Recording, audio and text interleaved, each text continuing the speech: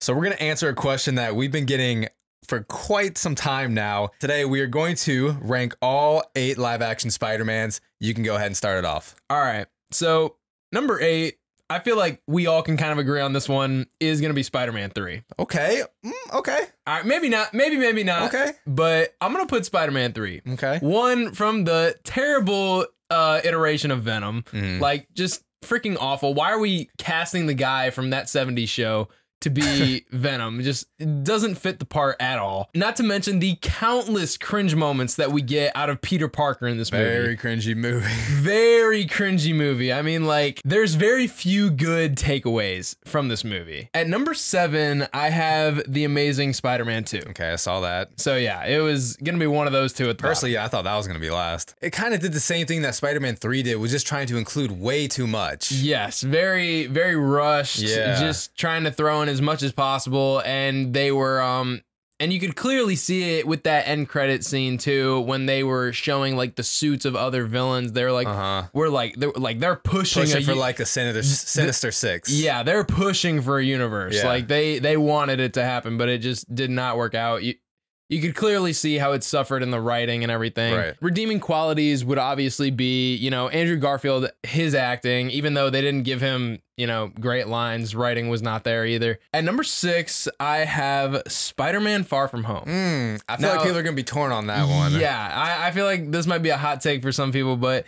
I don't know, man. I just like I've never really connected with this movie. It's not one that I go back and rewatch a lot. Obviously, you know, Jake Gyllenhaal, great actor. Yeah. I love Tom Holland's Spider-Man and everything, but I just did not love this movie. The origin story seemed kind of odd. Like this guy was just like so obsessed over I will say the motive is very weird. the motive is really weird that he developed and he got so offended when he called it BARF with the acronym. I'm like, as a whole, this movie was really weird. And it was also, I was a little disappointed too because it teased the multiverse, which, you know, we event- which we eventually got. But at the same time, it we find out that he's a fake. He's not even from a different universe.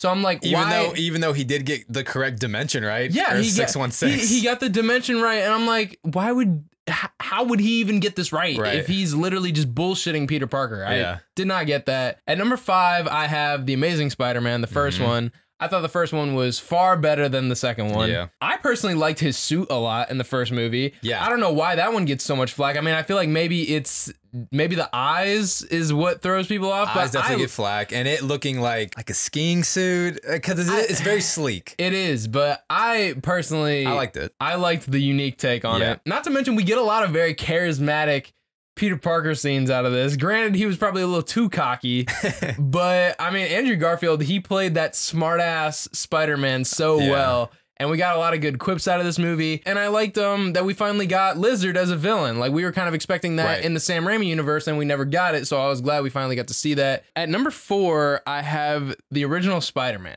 Okay. This is where it gets tough here. Yeah. Amazing origin story. We get the introduction of Green Goblin, who is Yup. one of my favorite villains ever. He's so good.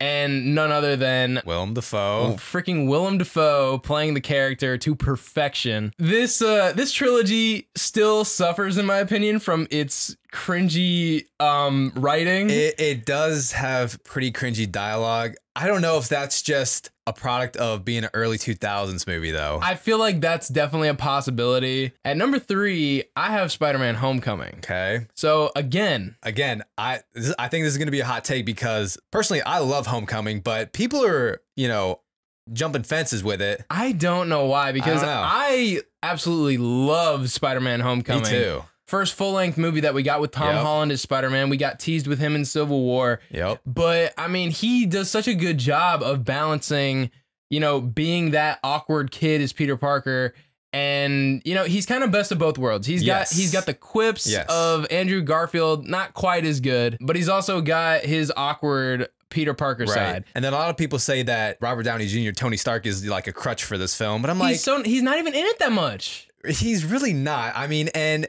this is this is what we needed though. Like, if you want this Marvel Cinematic Universe, yeah, Iron Man's going to be involved. Exactly. And it was nice to see that father figure for Peter Parker. Exactly. Especially when Tony was the one to bring him into the Right, yeah. into the Avengers and everything. Michael Keaton as Vulture. Yes. Absolutely loved him. I love Vulture. One of the So- most underrated villains. so much. And you know, he and the whole twist that we saw with him being Liz's father. Yeah. Didn't see that coming. Nope. At number two, I have Spider-Man 2. Spider-Man 2, one of the few sequels to that I think is better than the Okay. original movie. A lot of people say this is the best Spider Man movie. And honestly, I think the reason that it is my number two and doesn't take that top spot is because, again, we're in Sam Raimi's universe and this cringe writing still gets to me, bro. also, though, I think what takes us down for me is um freaking MJ, bro.